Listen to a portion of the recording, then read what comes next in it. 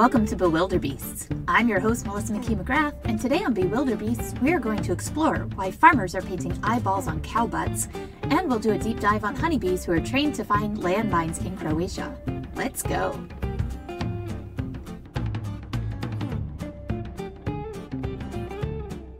Hi, everyone. Welcome to the very first episode of Bewilderbeasts. Before we get started, let me give you a little background on this podcast before we jump in. You know, get to know each other a little bit. Now, at the beginning of the summer, everything went upside down. I know this has been a very hard year for a lot of kids and their parents. But in Somerville, the city that I live in, during the COVID 19 experience, lots of people jumped in to help. And in this way, they helped by putting together a free online virtual summer camp for the kids of our city. During that virtual summer camp, I was able to volunteer some time to teach kids about animals. I had no idea what I was doing. I'm just a dog trainer outside of Boston. I only usually work with dogs. But I love science, I love animals, and I love fun facts, and I adore teaching. So I put all of those things together for an animal fun class where kids and curious adults could learn about animals who changed history, like a cow who was framed for starting the Great Chicago Fire. The Great Chicago Fire. Spoiler alert, she didn't. But as a result of the city burning down, the story of that cow inspired another country to help Chicagoans start what has become the second largest library system in the United States. Before this, you had to pay to use the library. We're going to talk about more about this story in a future episode of Bewilderbeasts. But we had also talked about animals who help humans, like dogs who can detect COVID 19 and cancer. And we also discussed people who work with animals in case, you know, the kids who are watching wanted to grow up and work with animals at some point during their lives, or the adults wanted to make a career change. Many of those topics will be fleshed out here in future episodes too, but one animal stuck out as my absolute favorite and was the inspiration for this entire podcast. If you picked this to listen to, thank you to all four of you who chimed in who are either students or my daughter. But if you actually picked this because you noticed a picture or were curious about this, you might have noticed the logo Bewilderbeasts and a pink flower with a bee. But if you look carefully at that flower and the logo, do you notice something about it? You can totally pause this and go back and look at that logo if you want to. But there's a cartoon bomb lit in the middle of that flower, and the bee is walking right towards it. That logo for this podcast that you're listening to right now was inspired by the Croatian bomb bees, my very favorite thing that I learned while I was teaching those kids this summer about animals.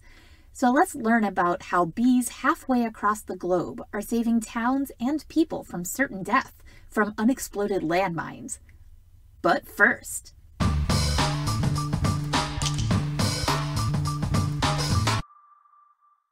Did you know that farmers paint eyes on cow butts to protect them from predators? Now, where I live, cows live in fields and there are very few natural predators, except for maybe us. But in places where cows live alongside lions, jaguars, and other apex predators, cows are easy pickings and a delicious dinner. They are often picked off by wolves, large cats, and other predators. But according to a study from Communications Biology, when researchers painted giant eyes on bovine booties, they observed lions would not pick those cows to eat. And while this sounds silly, it does make evolutionary sense. So I want you to think about butterflies. Some of those have eye shaped patterns on their wings to confuse predators. It's hard to sneak up on someone you think is watching you. So now let's take that idea and look at those lions. They attack by sneaking up on their prey. So if they are fooled into thinking they are being watched, the lions lose their advantage. And according to Mental Floss, my favorite website on the internet, this works on humans too. Not that farmers don't kill cows with eyes, but we do fall prey to being watched. For example, when bikes are parked near signs featuring eyes, those bikes were 65% less likely to be taken or stolen. So, what does this mean for butt bespectacled cattle? Well, for now, it means that eyes painted on their butts do work well, but if all cows had these markings, predators might just get desperate and still attack those cows. And over time, they might get wise to this. But they might not.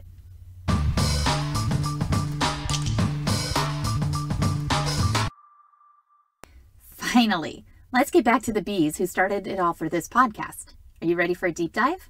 Let's go. It turns out that using a technique that I use in dog training called associative learning works on nearly every animal. And this might sound super familiar to some of you. Does Pavlov ring a bell? The key to associative learning is pairing something new that doesn't cause an instinctive response to something that does.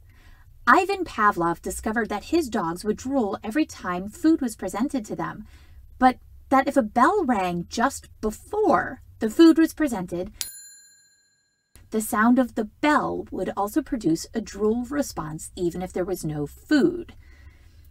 But here's the thing dogs aren't the only ones who can learn by associative learning.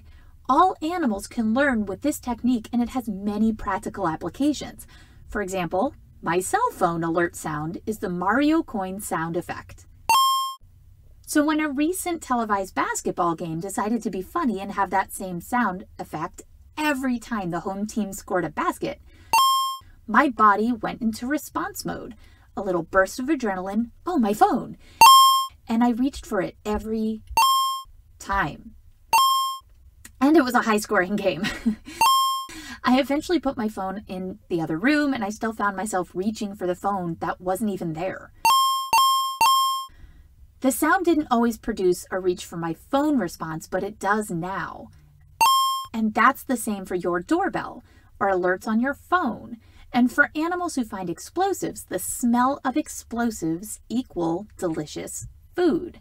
By taking the scent of explosives and introducing a small amount of that odor, you don't want to overwhelm the animal, but you do want to just use a little bit just before their favorite food shows up. The odor can predict food is on its way. So why don't they just use dogs? Well, dogs are pretty expensive to train for this kind of work. Plus, you need one handler for every dog you use. Dogs are heavy, and if they make a misstep, that's a bad day. But the two biggest advantages of using bees over dogs bees learn this faster, and you can have a swarm of bees on the hunt for an underground landmine instead of one or two Labrador retrievers. Bees can be taught in just one or two days to seek out novel odors, new scents, including those of buried landmines in Croatia, remnants of the Croatian War for Independence, otherwise known as the Balkan Wars. Since the start of the Balkan War in 1991, it's estimated that 2,500 people have died from landmine explosions alone. And the 90,000 miles that were scattered across the country, they were placed at random and without any sort of map. And while it's impossible to put a leash on a bee, or even tag them with little microchips that we can use to track them. Drones can follow groups of trained bees to see where they congregate, and it worked. By mixing sugar water with a little bit of TNT odor, the bees learned that a little TNT smell, the amount on an underground mine, predicted food for the bee, and they were able to lead bomb clearance teams to unexploded landmines so they could be cleared safely. This saved lives. Now, unsurprisingly, in my line of work, when people discover they can get great behavior with honey, they decide to maybe try to use a stick. One woman had decided to try to train her bees for the German police force by shocking the bees that are sniffing odors like explosives and drugs. So why use shock or pain when sugar water works just as well? Pavlov's Pavlov's theory does work the other way too. So while dogs heard a bell and would drool for food, you could just as easily condition an animal or person to fear something by association too. So for me, I'm terrified of spiders. Like, super scared. I appreciate the work they do and I love them on paper and in theory, but even sitting in this closet recording this podcast and just the thought of maybe one here with me is making me have an adrenaline like response. Whew, I'm good. Okay, so um, I once reacted to the possibility of a spider by panicking so intensely. I jumped backwards and I threw a table I was sitting at, and it was all pure instinct. So to say that I'm afraid of spiders is a bit of an understatement. I have worked hard and I am getting better, but I still can't go into fields with tall grasses because to me, tall grass equals trapped with spiders after an incident when I was a small girl chasing a soccer ball into tall grass. And after I picked up that ball and I looked around, I was surrounded by spiders. Tall grass equals spiders. Tall grass equals nervous and anxious. Thanks, Pavlov. My suspicion is that the individuals who want to use shock to train bees to hate the smell of drugs is hoping for a more visceral response from the bees, which might work. I think she wants them to buzz and attack and show that the drugs are really there. But it might also cause the bees to shut down or even hate the food that they are associating with that shock. If you've ever had a drink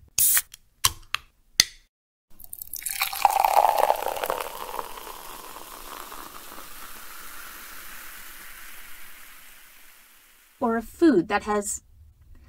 This is a family friendly podcast, so I will say backfired on you. You might not be able to eat that food or drink that drink anymore. And that is unfortunate. Teaching any animal with cruelty not only harms the animal, but it is unnecessary and it tends to have other consequences as well. So be kind to animals. While the saying goes, you might get more with honey than a stick, you will literally get more with sugar than with shock.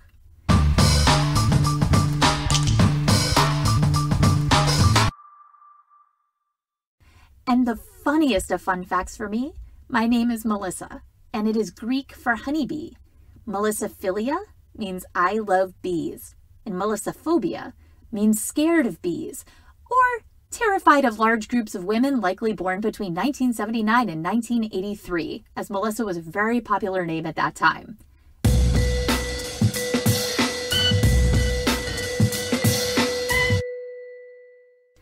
So thanks for joining me today on the very first episode of Bewilderbeasts. I'm still working out the details as this is my first episode, but if there are things that you'd like me to talk about on the podcast, historical animals that you found fascinating who changed the world, or maybe even misunderstood creatures, animals who help humans, or wacky animals in the news, please send them in. You can send every correspondence to bewilderbeastspod at gmail.com. You can tweet at bewilderbeastspod Bewilderbeast Pod on Facebook, and Bewilderbeasts on Instagram. I'm Melissa. Thank you for listening. Now go get curious.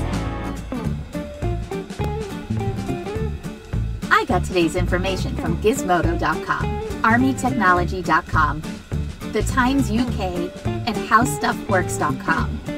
And of course, my best friend Wikipedia, which if you are using it, make sure to check the resources and the references that are used in Wikipedia.